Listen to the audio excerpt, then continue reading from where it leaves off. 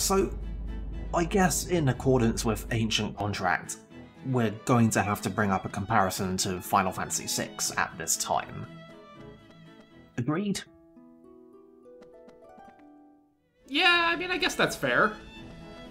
I mean, it's not the first or the last RPG to do this gambit, but it is the probably the most notable one. Yeah, I mean, I, I, I don't. Like I said, I'm pretty sure it is the law that when this kind of thing happens in a video game, that you have to make a comparison to Final Fantasy VI. Which, I mean, notably had a cast of like 14. Was it, was it 14? Was it 16? It was, a, it was a big cast. It was like yeah, it was like 13 or 14 characters, so close enough. And there, there was stuff everywhere, and there was a big world with a lot more than six locations in it. Like, I don't know. I, I'm I'm I'm kind of dancing around the idea of, of a comparison, saying that this that this game is lacking in some way. Although I don't think that's really actually true. It just kind of feels that way when you stack up the numbers. And remember that we're doing this in a many years later world of significantly higher production budgets and production values. It's all just kind of weird. I don't even think there's anything specifically to be gained by comparing it too deeply with Final Fantasy VI, other than to note that, yeah, we're doing the thing where something goes really wrong and then we have to get everybody back together. You know, I'm glad that this lady just instantly was like, no, you can't. Why am I even bothering? She gets it. She knows the deal. I mean, given everything else from before, would you turn these people away?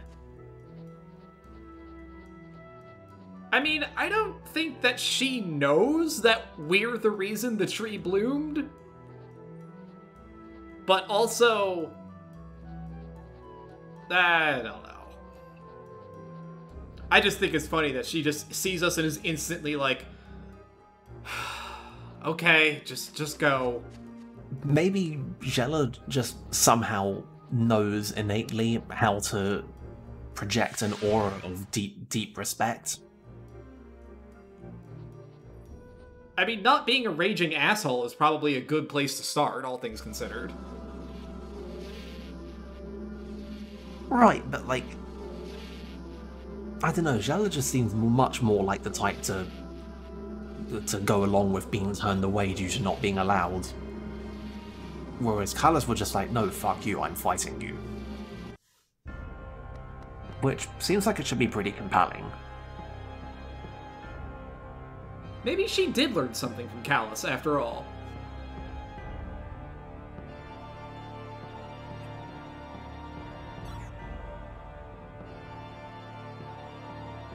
Yeah, I can definitely see this being very, very irritating.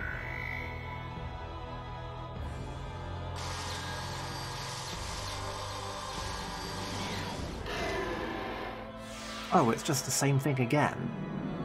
Ah, but this one has blue eyes, because he's a water elemental, whereas the last one was dark. I see.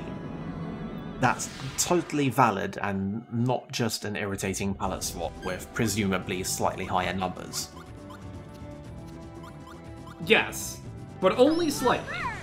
Like, let's not say anything, let's not give it too much praise now. Chronos Flow! Bloom darkness! Cast yourself upon the enemy! Magic! See, now I can't stop noticing that she says this.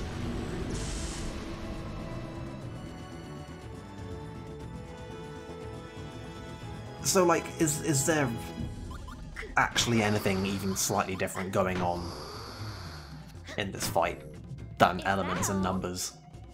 No, not really. That is actually disappointing. The next, yeah, the next one, I think is, I think has an instant kill ability. If that means anything. Uh, That's not really very interesting. It's very annoying. It's about the only thing that makes it notable in any way.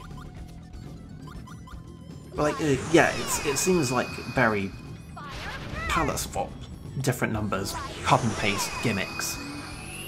I don't like it. It's very much just do the five things, and the five things are basically all the same. Now there's an actual point of comparison to Final Fantasy VI. Each one of the, the things that you have to do to, re- to recruit or to re-recruit all of the various party members were like actually different. They were all like they were a bunch of different quests. You did different things. You had to engage with everybody's stuff. You had to do their homework. You had to deal with their characters. Sometimes you even had to sort out their shit. It's like writing. It's video games. This isn't video games. This is just busy work. And I definitely don't like it.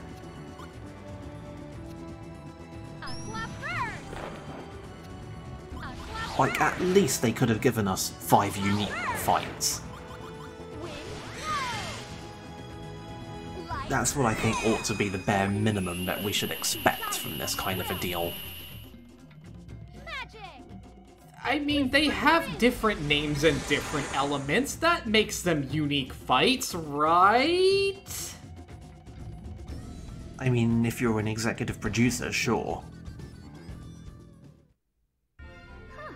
That Like, see, that one had some bullshit about how it strikes fear into the heart of men or some shit. I don't know. I don't read those pictures. You doing here? You shouldn't be wasting time. Right, wasting time. it was nothing. I just happened to pass by on my morning walk. Like, are you two flirting? Must have been quite a walk. So how's the battle situation? They're holding up. Lady Corellia, King Ladekahn, and Duke Calbren have joined forces and are doing all they can. It turns out that's not really very much, but We need to face reality. Okay, yeah, see, here we go. Or it may stab us. in Selena gets it. Well, to be honest, things seem to be getting worse. Oh, you don't say. Our Like with the giant floating demon castle, ground. things are getting bad? I'm not surprised. Apart from the knights, almost none of the troops have any combat experience. They're really no match for the enemy forces. We have to do something. I'm with you there. Let's go. The battle of truth lies ahead. And oh, it turns out that all of the help that they might have given us wouldn't really have amounted to very much. Yes, he does. I don't know if that makes me feel better or worse about this. I mean, does Kalas need our help? Like, does he really? I mean, he seems to have this pretty firmly in hand. He's out there living his best life. Like, we're just gonna go and fuck that up for him.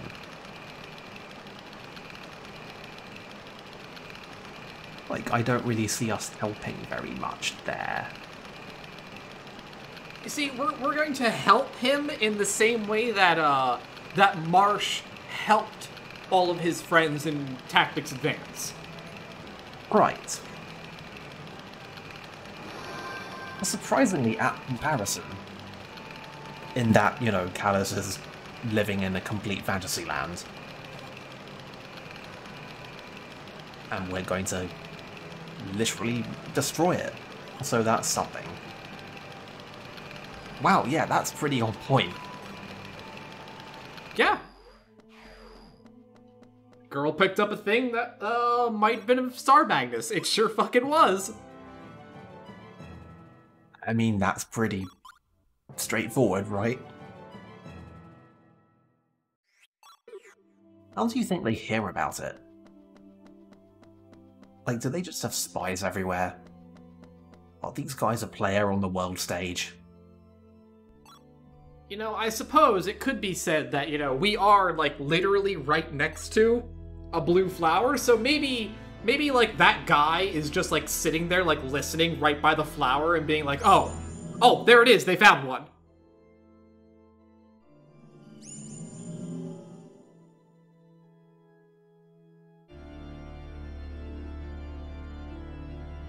Yeah, I feel like even by the existing standards of this game's world, that uh,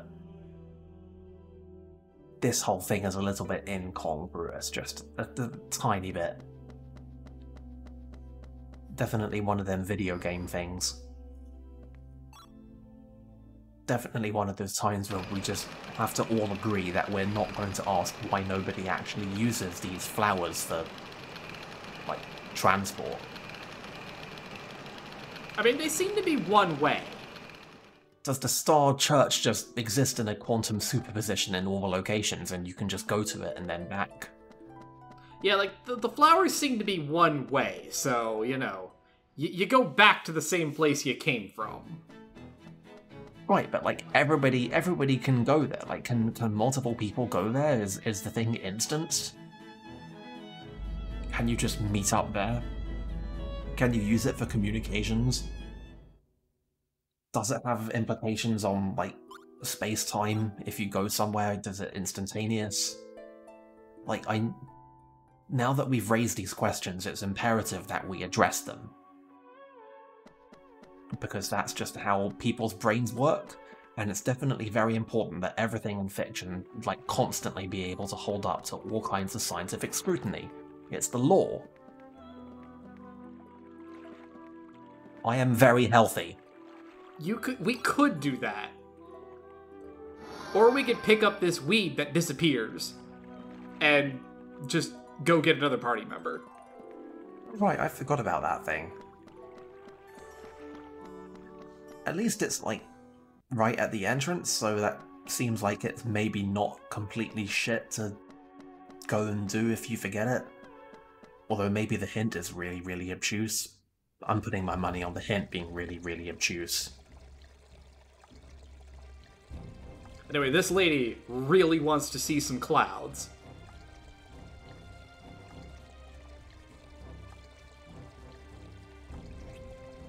Aha! Now, fortunately for her, I brought some clouds with me. I'm not sure why she's breathing them in, but you know, you do you, lady. Well, we, we free it from the card and it just turns into just water and just falls to the ground and now it's a puddle. See? It needs to withstand scrutiny.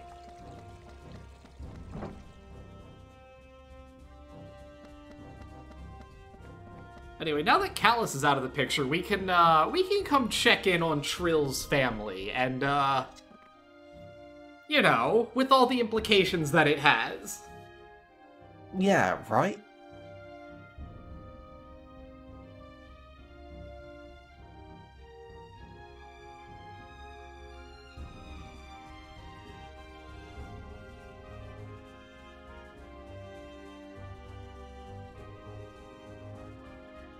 Girl, girl, please. You you could not be implying this worse.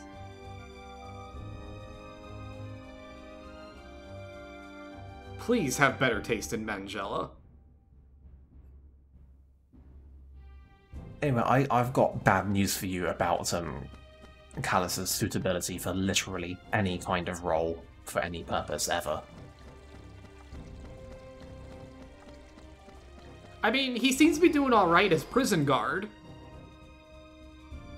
Is he though?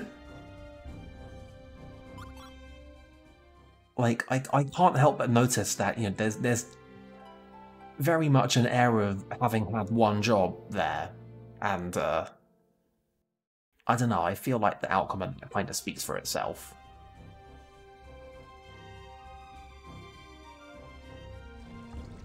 Maybe I'm being unreasonable.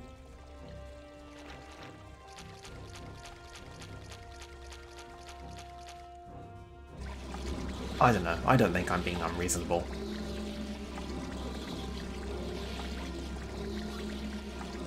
Anyway, just in case you needed another demonstration of just how absurdly powerful their security system was. Yeah, we just jump in a little canal and stroll right on up to it. It's perfect. Just absolutely flawless in every way. Anyway, given how the rest of these encounters have gone, I am a tiny bit unnerved at the fact that you're taking time to do some setup before taking on this one. Oh, I'm definitely not. That was just a case of Savyna has like three rotten food in her deck, so I just trashed those. Yeah. Fair enough. Anyway, if you missed it, the hint for this one is like the plant that listens not to the logic of this world or some shit like that. Yeah. I mean, I feel like that would have probably done a decent job at implying the thing, but only just via very oblique process of elimination kind of deal, like...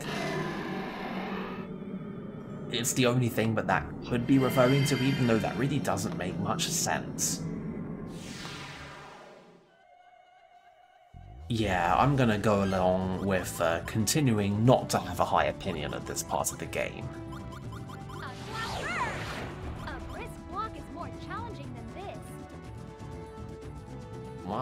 Shade. I can't say she's wrong. I mean, it seems in very much in fitting.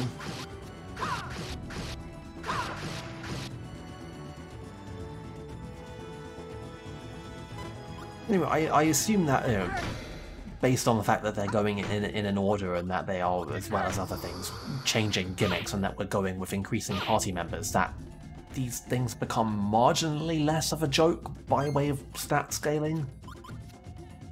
Uh, that is that would be at least somewhat fair to say. Like, I mean, this one is capable of doing a couple hundred damage per combo. Destructive power. Spiraling gale. Yeah. I mean, that can almost take off a quarter to a third of our health. Then again, didn't you say this one had an instant kill? It's either this one or the next one. I forget which one, but yeah, one one of them has an instant kill. It might. I think it's this one.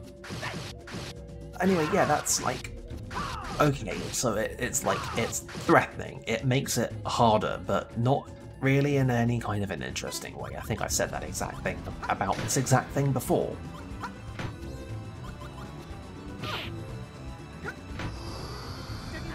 Balancing numbers in games is really weird.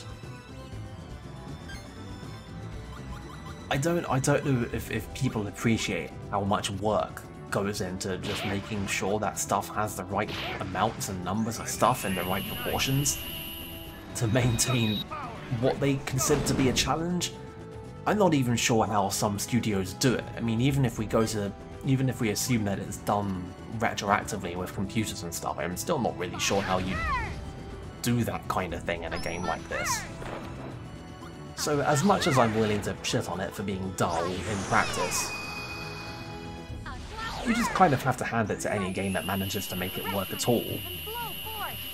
Yeah, like I mean, all things considered, I I am glad that these fights are. I would I much rather have them err on the side of making these fights a joke than making these fights like some kind of stupid bullshit. I mean, I don't know, if if it were me, I would have had, you know, kind of the inverse situation in which instead of going and rescuing all these people, they each fight their way out of them, and then you get a very tailored deal where you have one character who has their deck, and you just have a, a gimmick fight based around the character's deck, taking advantage of all the factors that suddenly you have very particular control over. That's like, that's game design, right? Uh, that would work, except for the part where you they have like they don't get new decks. Like they have the same decks they had when we went into the lava caves. Right, but I, I mean, they still have their particular decks rather than the other characters' decks. Like, the ca- decks are all unique. Ish. It's not like they, they suddenly have a different deck, but they have what they have, and the game can be certain of who your party is going to be, and they can control everything to a very strict amount of action economy. but they can't control what's in that deck. Like, for example, we just got Mizuti. If I was forced to play with just Mizuti, I would have, like, three elements to play with, and they would almost all be level one and two cards. me, great Mizuti, for taking So like, long to their damage output would be But absolute you trash. trusted That's why we call it game design, folks. It's not actually that easy. That said, a sufficiently dedicated JRPG scenario designer can come up with excuses to contrive basically whatever the hell they want. I mean, combat design is one of those things where, you know, I'm sure the writer will think of something actually kind of works. Let's. As long as it's just combat design and you don't have to tie it into anything. Like the the point is these scenarios are all kind of isolated from each other. And that makes them open to contrivance, which writers love that shit. Anyway, all that would have been much more interesting than what we actually got, which is five of the same thing with different colours and higher numbers.